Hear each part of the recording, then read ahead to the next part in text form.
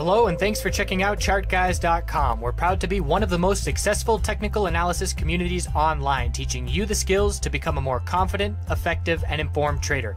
Join our community of hundreds of analysts worldwide working together to learn the charts, generate profit, and achieve financial independence. Sign up for a one week free trial, no credit card required, for access to daily live chart analysis and market coverage, a thriving chat community, along with dozens of hours of exclusive educational materials. We look forward to seeing you. Let's check out some charts.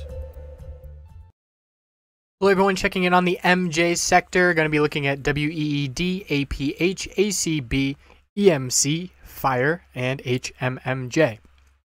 So it was a big week for the sector, probably the most bullish week we've seen in a while, and that was due, in my opinion, to the catalyst of APH, which had its earnings release, and the market really uh, responded well to that and had a big move. So this is making me that much closer to be looking at initiating entries long term. And at this point, I do feel that if you are looking at a long term time frame, one to three to ten years out, that this entry is fine. And you know, trying to nitpick for a percentage here or a couple percentages there can be nice, you know, if you know what you're doing with trading. But if you're just trying to get in for a long term investment, let it sit and forget about it. Now is perfectly fine to get in, in my opinion. And I do believe that we are going to be near our bottom. We might already have hit our bottom in 2017 here. And watching the, the trend change a little bit on some of these names does give me that confidence. So I'm going to be looking to initiate some positions here soon. Again, I'm looking at WEED, APH, and HMMJ as the main three. ACB is in that grouping as well in terms of strength. It's had a little bit more dilution, so the, the chart is a little bit weaker than the other names. But in terms of if I were to pick the big three, those three would be it Weed, APH, and ACB. And there's other smaller names that you can certainly look into. They're higher risk and higher reward.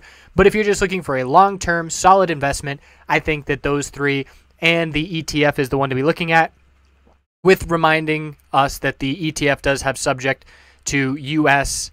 holdings as well. It's a third U.S. and two thirds Canadian. So, you know, if if there were to be setbacks legally in the United States politically, that would definitely hinder HMMJ. If there were to be progress and moves forward, that would benefit. So, need to keep that in mind as well if you're looking at that ETF. Everybody else doesn't really have much U.S. exposure. HMMJ certainly has the most. So, WEED here is seeing not a lot of action, and we are still weak here on WEED comparatively. And we have this little, we had the nice spike leading up into earnings, and it was an opposite reaction where we had a sell the earnings reaction rather than APH, which bought those earnings. So we have lower highs and lower lows forming here. And right now, key support is 773. If that breaks, we're looking down at 741. 741 is the must hold level. If I were to put a stop loss, it would be just below that level because if it breaks, there's not a ton of support down to that low of 658. So 741 is the most important level for me of support on this chart and 773 is also important, but not as important as that level. In terms of resistance, look at this 50-day moving average resistance, this blue line sloping down. We've rejected from this now a half dozen times. It's currently at 796, and we have to see this little lower high pattern break. We had a little bounce attempt at 831, a little lower high at 813, and now a lower high at 807. Bulls have to break 807 to see a break of the lower high pattern and then start forming some higher highs and higher lows to try and turn things around again. So the weekly time frame here doesn't have the strength that I'm looking for yet. We rejected, we did close one week above these exponential resistances, but we didn't get a cross of those exponentials, those four period and eight period.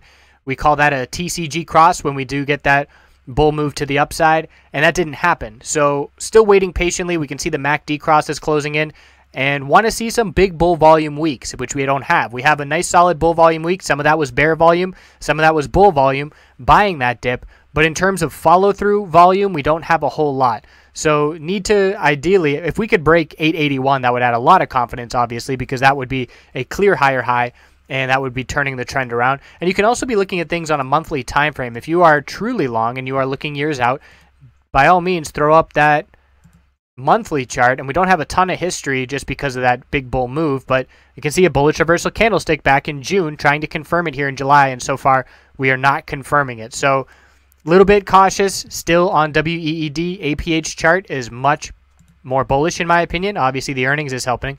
And the key level for me that broke 570. As soon as 570 broke, because we have 570 and then 567 as resistance, break 570, and it was a very clear sign for the bulls. We're now consolidating, and we have multiple inside bars in a row on the daily time frame, with the range fitting within the range of the previous candlestick completely.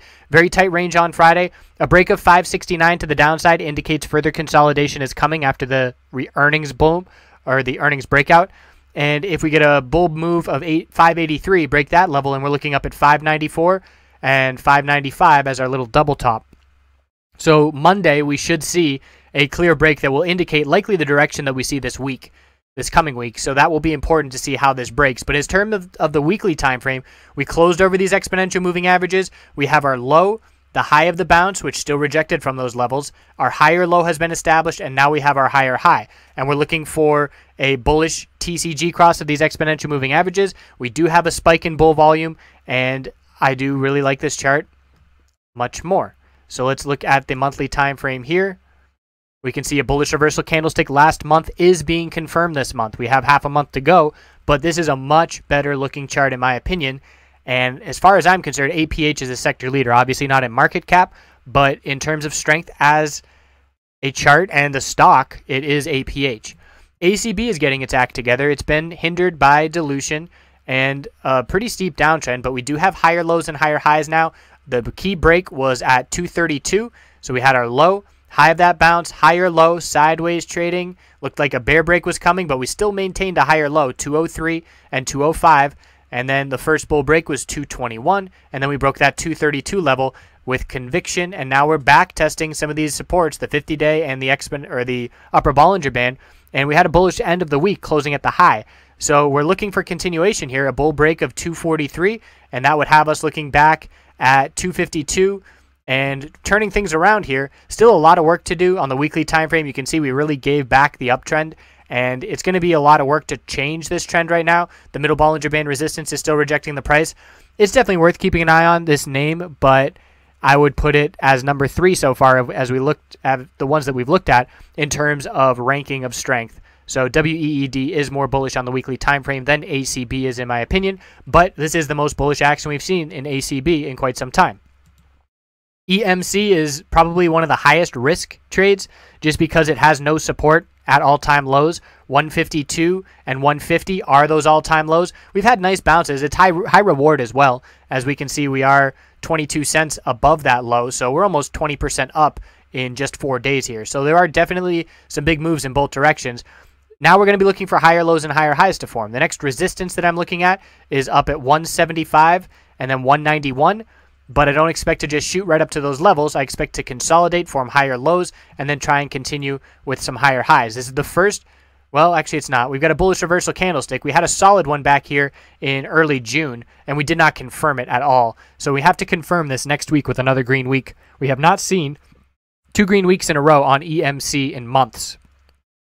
So if we can pull off another green week, ideally closing above the 8-period exponential resistance, that will be notable for EMC, and the bulls will start to turn things around. Checking in on FIRE. So we got that oversold bounce. We were looking for a bounce around the $1 level as we were hitting oversold on the daily time frame. So a nice solid bounce for those bulls.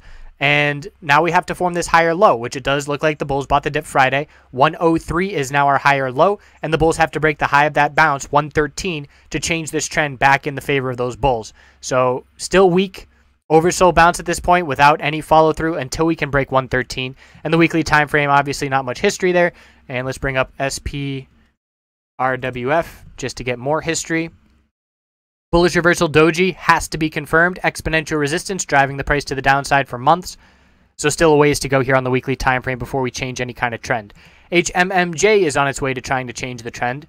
We had our low, high of the bounce, higher low, higher high, higher low. Haven't got that higher high yet. We got to break 898 to see it again. We got up to 893 here. So we're close we had an inside bar on Friday with a tightening range. The weekly time frame, you can see this bounce trying to play out with our low, high of the bounce, higher low, on the verge of a higher high, need to get over these exponential resistances and try and turn this trend around. So if we get that higher high, that will increase the odds that, that our low of 2017 has been hit. It's an early call at this point to say that because we do still have, you know, four and a half months left of trading. But seeing that higher low and higher high begin to develop, which has never happened in the history of HMMJ because it was just a straight downtrend, higher low and a higher high would be notable if we can get over 898 and start to shift momentum. So it is time to start watching this sector. Obviously, people have been watching it forever, but it's time to start looking for bull entries. And, and this is the green light, in my opinion.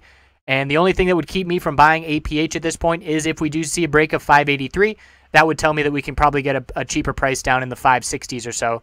But I would still be looking for an entry because this was an attention grabber for multiple reasons. The volume that came in, obviously the earnings that came out, and a lot of people now are shifting their focus to to check this company out. So I do APH is my number one horse, and we will see how the these entries, calling it here, long-term entries, multiple year time frames, very little. Honestly, I'm a I'm a contrarian where you know, if, if the whole market's looking one direction, I'm looking in the other direction. And it almost seems too easy at this point, these no brainer investments at these levels after six months of consolidation from the crazy breakout, that I'm, I'm almost questioning myself like, can it really be this easy? But it it really seems like it is. So we're going to check back forever, but really curious to see how we stand one year from now. And certainly would be shocked if we were down. So I think it is a really safe investment and I will check back in next weekend. Have a great rest of your weekend.